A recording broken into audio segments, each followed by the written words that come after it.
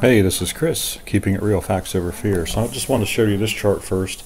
Decided to do a comparison between a seven day rolling average of new cases, confirmed cases, compared to a 14 day rolling average. And I think I like the 14 day rolling average because it more clearly shows the trends, the, the, the, the longer term trends of uh, the rise and fall in the number of new cases.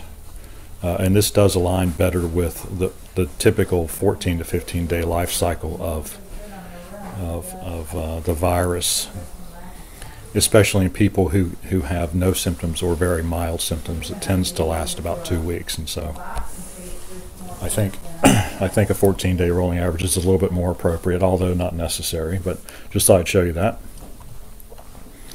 Now let's get back to the main show here. Uh, the time to herd immunity chart for North Carolina. The current herd immunity date is 12-08-2020. That blue line is the one we're interested in because it includes all of the data uh, since the beginning of the outbreak in North Carolina. Deaths continue to remain low. I haven't done a death chart because it's basically been 25 to 30 a day. Uh, once it reached that level in sometime in May or early June, it reached about 25 to 30 a day, and it has stayed that way regardless of the number of tests, regardless of the number of new cases, regardless of the number of hospitalizations. And so that is good news. Uh, remember, at the beginning of this outbreak, we were told a lot of people were going to die, and you know, 3,900 people is not an insignificant number, but 3,900 people out of 10 million people that live in the state is a very small number. Therefore, the risk factor of dying from this disease is very, very small. So it's not something, you know, it's not something to be deathly afraid of. You don't have to look over your shoulder. You just need to be take some simple precautions, and you'll probably be okay. And most of the people who get it, who are under the age of, like, say, 50, will not even experience any symptoms. I realized the next item is I realize I've not updated the entire chart to show the new NCDHHS data put into place on 9-25-2020 and so I've now updated the entire chart to reflect that data. And so it hasn't really had much effect on the end date. It did shift over about a week on 925 but it has been the, but the date has been shifting right now for the last uh, three weeks. And so that's that's neither good nor bad. But we can see the trend seems to be that this that the that the, the, the rate of new confirm well the rate of of uh, decrease in the number of available and this is basically what this is a, a, a chart of the of the number of people who are left before we reach, we reach herd immunity. In other words, number of people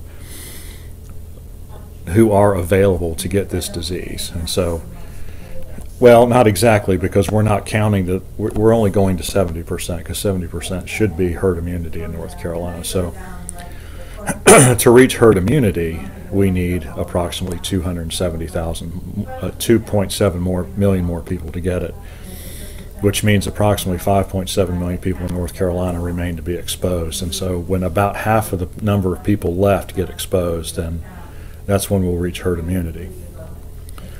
And that kind of explains why the number of cases can continue can can spike back up because there's even though we're getting closer and closer to herd immunity, I'm not really sure what the curve of an of an idealized uh, viral spread would look like if you know if it, if nothing was done, what would this graph look like? And, and then, then we would have the ideal graph that we could really know what was going on. But we're we're fiddling around and we're closing things down, keeping them closed.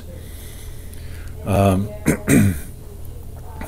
uh, keeping people from gathering together in groups bigger than well, 10 or 25, or whether or not you're indoors or outdoors. And so we don't really know how this virus would would react or how it would spread if, if we just continued on with our normal everyday lives. Although I think this last the last peak that I showed on the last chart shows that we that's we are basically getting to that point.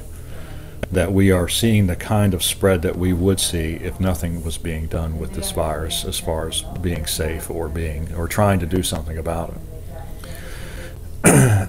so confirmed cases have climbed to nearly the same levels as the previous peak in mid-July. We'll see what happens in the next weeks to see if that trend continues. I, I expect it will continue to climb, especially with the addition of the antigen tests in addition to the PCR tests that were previously the only data set we were working with.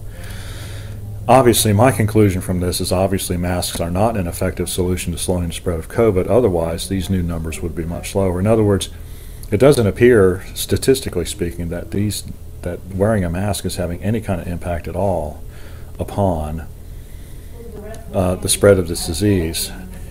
And this brings me to the next point, which I think is the main driver of the spread of this virus societal mobility is the main driver in the increase in cases. Many schools are back in session.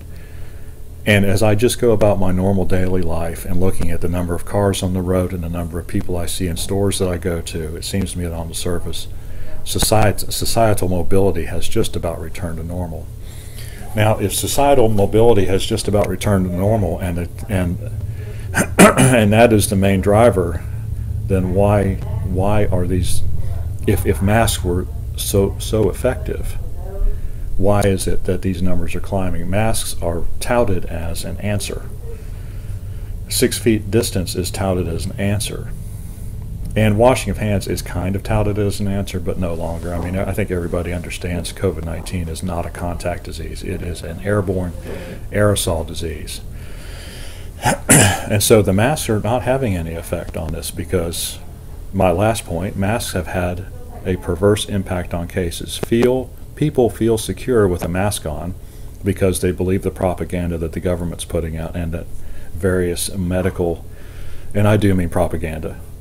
I chose that word carefully. People feel secure with a mask on, and so to move about more and more, and they will move about more and more and come into closer and closer proximity to others, which will enhance the spread of the virus.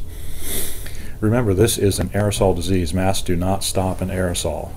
They may slow the trajectory of it down. They may slowly have some effect on the diffusion of it, but we all know how diffusion works. It doesn't. It doesn't demand. It doesn't depend on kinetic energy for an, an aerosol to spread through the air. It just happens, and that's just a, that's just how physics works. That's how atmospheres work you introduce something into an atmosphere and that something tends to spread evenly throughout that atmosphere and unless something actually keeps it from doing so but cloth masks do not stop these very very tiny particles from coming through the mask they may stop a few some may get caught up in the fabric but since these masks are not designed like if, if everyone was wearing N95 masks, I would say, yeah, let and if that's what was really required, that, then I would say I would be for that. But to, to throw a cloth mask, a homemade cloth mask, or some, something made in some factory in China on your face and expecting it to do something medically effective, I think is foolish.